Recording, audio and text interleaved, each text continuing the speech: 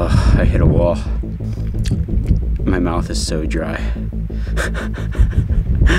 Why do I do this to myself?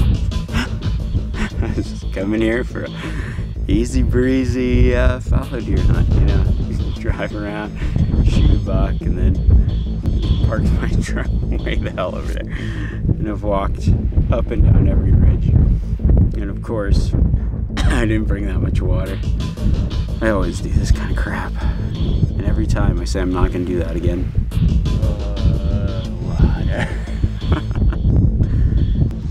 Someone bring me something to drink, please.